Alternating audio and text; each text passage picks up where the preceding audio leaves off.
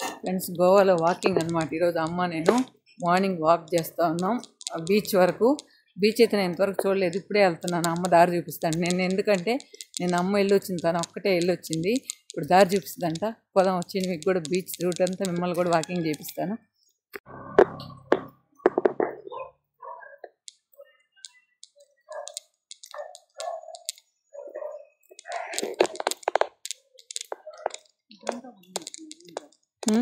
ఇదే చెప్పలా మొత్తం ఇదే. పనస చెట్లు. పనస చెట్లు కొబ్బరి చెట్లు మంతమాడ చెట్లు. మంతమాడ పువ్వు అదే మన ఊరు పక్కన కేజీ ప్యాకెట్ కంటే ఎక్కువ ఉండదు. ఇక్కడ అన్ని పది పది కిలోలు. కానీ రేట్ ఏం పెద్ద తేడాలే. చేపలు. ఫస్ట్ మనం బొరుగులు ప్యాకెట్ అనుకుంటామే ఎందుకు బొరుగులు అమ్ముతున్నారు ఆడ?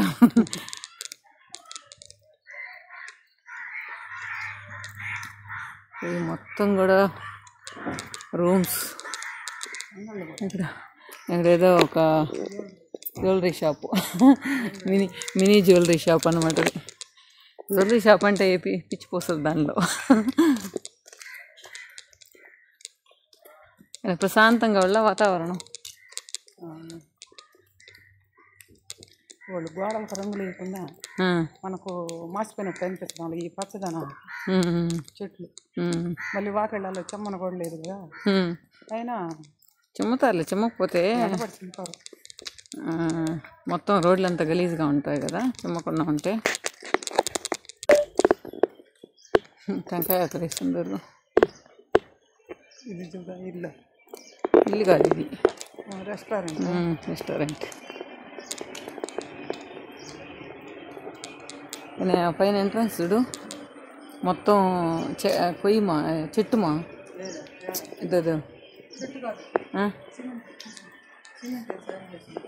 సిమెంట్ వేస్తాంగా మరి కానీ చూసి దాన్ని కొయ్యలాగే వాళ్ళ ఉంది. చూసా దగ్గరికి. ఎక్కువ ఆవులు ఉన్నాయి ఇక్కడ. చూడు. ఆవులు బాగా మేస్తూ ఉన్నాయి వాటికి ఇష్టం. ఎంత కావాలంటే అంత తినచ్చు. మన పక్క అయితే కొంచెం ఆవులకి గడ్డి కష్టం అయిపోతుందా.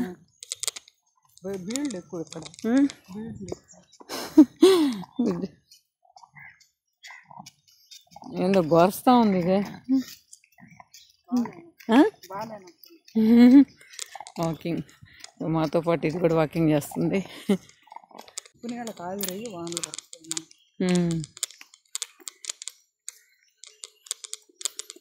ఇది కూడా ఒక రిసార్ట్ కాకపోతే ఎందుకో క్లోజ్ చేసేస్తున్నారు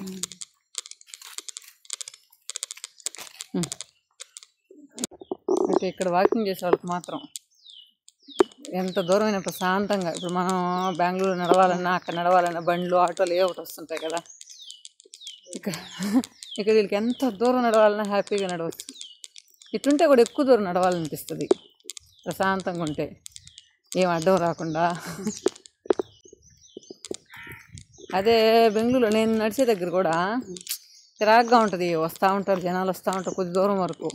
కానీ ఇంకేదే దారి లేదు. ఏదైనా దగ్గరలో పార్క్ పోయినా నడుద్దామంటే దూరం ఉంది అన్ని పార్కులు. ఇంకా జయనగర్ ఏరియాలో అయితే చాలా పార్కులు ఉంటాయి. ఎక్కడ? మనం పోతున్నామా? అదే మా అక్కడ కూడా జనాలే కదా. వెళ్ళా లోపల పోయిన తర్వాత కదా ప్రశాంతంగా వస్తుందా?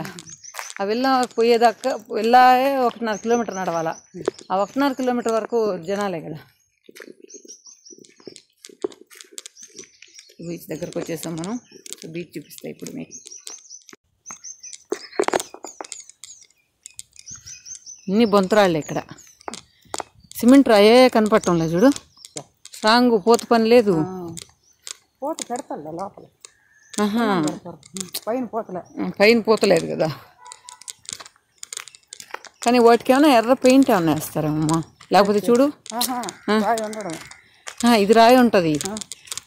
ఇంకొద్ది రోజుల తర్వాత మరి ఇటు చూడు ఇట్లా అయిపోతాయి లోపల కూడా రాయి. లోపల కూడా ఎరిపే. ఎరిపే. పైన పెయింట్ చెప్పేది. ఇంట్లో లోపల ఇంట్లో ఇల్లు కూడా ఇట్ట కట్టేస్తున్నారు కదా. పెయింట్ ఇంకా బయట అందంగా కనబడాలంటే పెయింట్ చెట్టు చూడు ఎంత పెద్దదో. ఓ నాయన. మనకి ఇక్కడ దొరకదు. ఓ నాయన అసలు అది రెమ్మలు రెమ్మలు చాలా హైట్. యాభై ఏళ్ళకి పైన ఉంటుంది దానికి. యాభై కాదు మనం బాదం చెట్లు చూస్తే చిన్న చిన్నవే చూస్తాం. అది కూడా పెద్దదే కానీ ఇది పెద్దది చాలా పెద్దది. కానీ ఇక్కడ బాదం చెట్లు చాలా ఉన్నాయి. వాతావరణానికి. ఆకులు కుట్టడానికి మన ఊరంతా ఎత్తితే ఎక్కడా కనపడలే బాదం చెట్టు. అయితే చిన్న చిన్న చెట్లు ఎక్కడా లేవు బాదం చెట్లు ఎక్కడ? పెద్ద పెద్దవే ఉన్నాయి. సో ఇది మజోర్డా బీచ్. మజోర్డా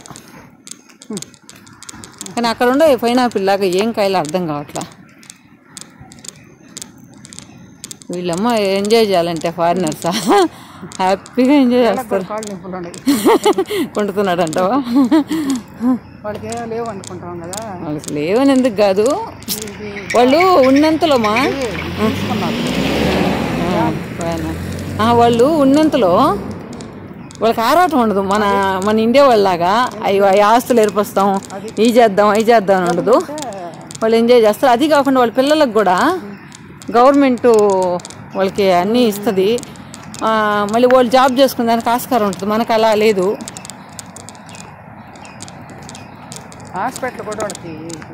అది ఇన్సూరెన్స్లే వాళ్ళ డబ్బులే కదా.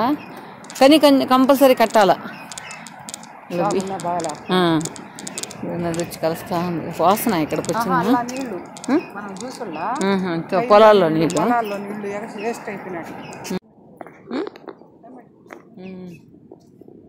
రాయి. ఇప్పుడు ఈ మనం ఈ మినీ మినీ రివర్ దాటాలా.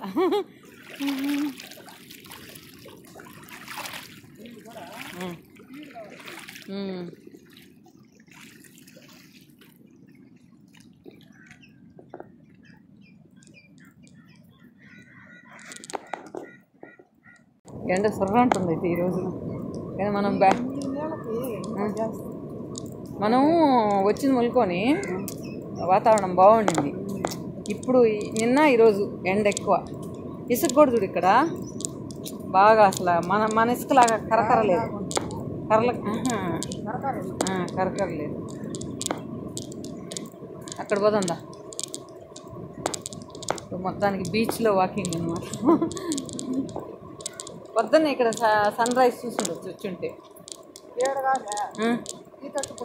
ఆ, ఈ పక్క పోయేటప్పుడు కన్యాకుమారిలో పుట్టేటప్పుడు పుట్టేటప్పుడు తెలుస్తాడా. ఒకే ఒకే దానిలో. ఒకే దాంట్లో పాటు ఎట్లా తెలదు మేము పొద్దున్న చూసినాము. పడుతుంది. పడుతుంది సముద్రం అక్కడే దగ్గర ఈ తట్టు ఆ తట్టు కాబట్టి. రెండు పక్కల. అంటే మధ్యలో ఉంటారు కావాలా? ఆహా, ఉమ్,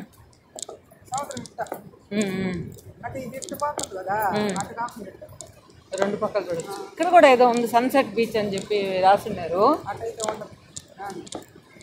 సన్సెట్ అంటే అస్తమించేది. మనం ఇక్కడ సాయంకాలం వస్తే చూడొచ్చు.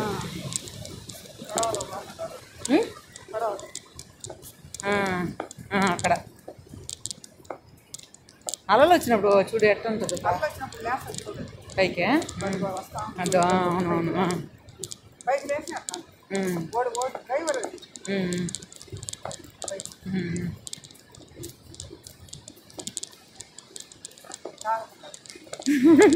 ఇక్కడంతా కామన్ మాయ ఇక్కడ గోవా అంటేనే డ్రింక్స్. అది కాకుండా ఫారినర్స్కి అవి ఏం అవి అలవాటే కదా వాళ్ళకి. మనకు వింతగా అనిపిస్తుంది వాళ్ళకి మామూలు క్యాజువల్గా ఉంటుంది. లోపల ఎందుకు చేస్తాం వంట? వీళ్ళకి ఏం కావాలో ఆ? కాఫీయా? కాఫీ ఉండదు అనుకుంటాం ఇక్కడ. కాఫీ ఉంటే తాగుదాం కాఫీ ఉండదు అనుకుంటాం. అమ్మ నేను వాకింగ్ చేస్తూ ఒక త్రీ కిలోమీటర్స్ దాకా వచ్చేసాం. ఇక్కడ చూసారా మసాజ్ చేస్తున్నారు. ఇంకా చాలామంది అమ్మాయిలు కూడా చేపించుకుంటూ ఉన్నారనమాట అక్కడక్కడ. ఫారినర్సే. వాళ్ళని అడిగితే ఎంత మసాజ్కి ఇక్కడ అంటే మేము ఇండియన్స్కి చేయము ఓన్లీ ఫారినర్స్కే అంటున్నారు. ఎందుకంటే వాళ్ళైతే ఎక్కువ డబ్బులు ఇస్తారు ఎక్కువ డబ్బులు ఇస్తారు. అందువల్ల వాళ్ళకే ప్రిఫర్ చేస్తున్నారు వాళ్ళు అనమాట ఇక్కడంతా చూసినట్లయితే బెడ్ లాగా వేసేసి ఉంటారు ఇక్కడ మనం కూర్చొని ఎంజాయ్ చేయొచ్చు. కాకపోతే ఒక్కొక్క హోటల్ వాళ్ళు వేసుంటారు. ఆ హోటల్లో మనం ఏదైనా తీసుకుంటే అక్కడ కూర్చొని మనం ఎంజాయ్ చేస్తూ సీ వ్యూని ఎంజాయ్ చేస్తూ తినచ్చు. చాలామంది డ్రింక్సే ఎక్కువ చే తాగుతూ ఎక్కువ నాన్ వెజ్ నాన్ వెజ్ అంటే ఫిష్ మాత్రం ఎక్కువ ఉంది. చికెన్ అయితే అస్సలు కనిపించలేదు. మొత్తం కూడా త్రూ అవుట్ ఏ హోటల్కి వెళ్ళినా కూడా ఫిషే ఉంది. కానీ ఎందుకు ఆ ఫిష్ మనకు నచ్చదు. మొత్తం కళ్ళు అలాగే ఉంటాయి అన్నీ.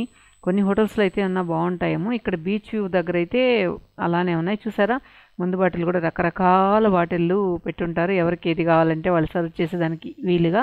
ఇప్పుడు మనం ఈ హోటల్ బ్యాక్ వ్యూ చూద్దాం. అక్కడ ఏం చేస్తున్నారు? ఏంటి? ఎలా ప్రిపేర్ చేస్తున్నారు అనేది. ఇక్కడ మన ఇండియన్ బ్రేక్ఫాస్ట్ చాలా తక్కువ దొరుకుతాయన్నమాట. ఏదో వన్ ఆర్ టూ హోటల్స్ తప్పితే మిగతా అన్నీ కూడా అక్కడ వేరే ఫుడ్ ఉంటుందన్నమాట. ఐ మీన్ నూడిల్స్ బ్రెడ్ అలాంటివి ఎక్కువ దొరుకుతాయి కానీ బ్రేక్ఫాస్ట్కి మన ఇండియన్ స్టైల్ అయితే దొరకదు. ఇక్కడ చూసారా? ఏదో ఒక సాంబార్ లాగా ఒకటి కనిపించింది. తర్వాత నైట్ మాత్రం ఇక్కడ క్యాండిల్స్ లాగా వెలిగించుకునేందుకు లాందర్లు అంటాం కదా అలాంటి గ్లాసెస్ క్లీన్ చేస్తున్నారు. క్యాండిల్ లైట్ డిన్నర్ లాగా చేస్తారో ఏంటో తెలియదు తర్వాత ఇక్కడ తాటాకులతో చిన్న చిన్న గొడుగుల్లాగా కట్టున్నారనమాట కప్పు. అక్కడ కూర్చుని వాళ్ళు ఎంజాయ్ చేసే విధంగా ఉంటుంది. ఇక నడుద్దామా? నీళ్ళల్లో ఇక ఇప్పుడుండే అక్కడక్కడ ఏదైనా బాగుండే గవలు దొరికితే ఏదైనా చూసేదానికి బాగుండే గవలు దొరికితే. నువ్వు గట్టి నడువు నేను నీళ్ళలో నడుస్తా. నువ్వు గట్టి నడువు నేను నీళ్ళలో నడుస్తా. నువ్వు గట్టి నడువు మా నేను నీళ్ళలో నడుస్తాను నీ మీద నిన్న మీరు తెచ్చిన అలాంటి గవ్వలే ఉన్నాయి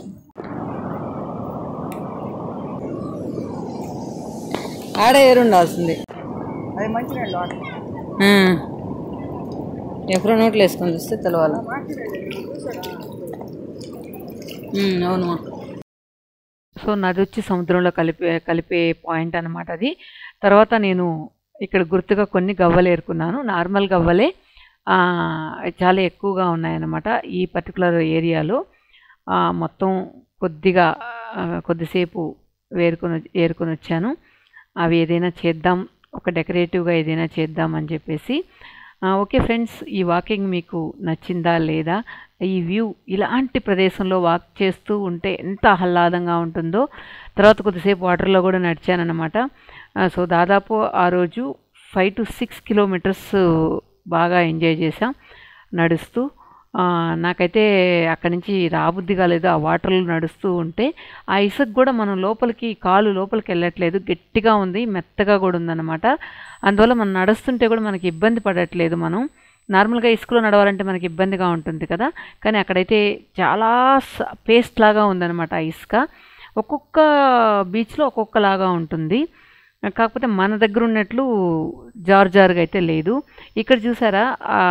ఈ వాటరు ఎంత ఫాస్ట్గా వస్తుందో ఒక్కొక్కసారి ఎక్కువ వాటర్ కూడా వచ్చేస్తుంది. ఉన్నట్లుండి ఎక్కువ వాటర్ కూడా వచ్చేస్తుంది. ఎందుకంటే మనం వెళ్ళేటప్పుడు ఇంత ఫాస్ట్ అయితే లేదు చాలా స్లోగా ఉండింది. రిటర్న్ వచ్చేటప్పుడు అయితే కొంచెం ఫాస్ట్గా పోతూ ఉంది. తర్వాత వాటర్ డే స్టార్ట్ అయ్యే కొంది ఒక్కొక్కసారి ఎక్కువ వాటర్ కూడా వస్తుందన్నమాట. ఎందుకంటే ముందు రోజు అమ్మవాళ్ళు వెళ్ళినప్పుడు ఎక్కువ వాటర్ ఉండిందంట. కానీ ఈ వ్యూ అయితే నా అదిరిపోయింది కదా చాలా బాగుంది. తర్వాత మేము ఇంకా రిటర్న్ బయలుదేరేసాం. ఇక్కడ కారు హౌస్ ఒకే కలర్లో ఉన్నాయి కదా. సో వీళ్ళెవరికో బ్లూ అంటే చాలా ఇష్టం ఉన్నట్లుంది. ఓకే ఫ్రెండ్స్ ఈ వీడియో మీకు నచ్చిందా లేదా అనేది కమెంట్స్లో చెప్పండి. లేదా బోర్ కొట్టినా కూడా కమెంట్స్లో చెప్పండి. ఎందుకంటే ఇవి రిపీట్ కాకుండా చూసుకుంటాను. Thank you friends. Thank you so much.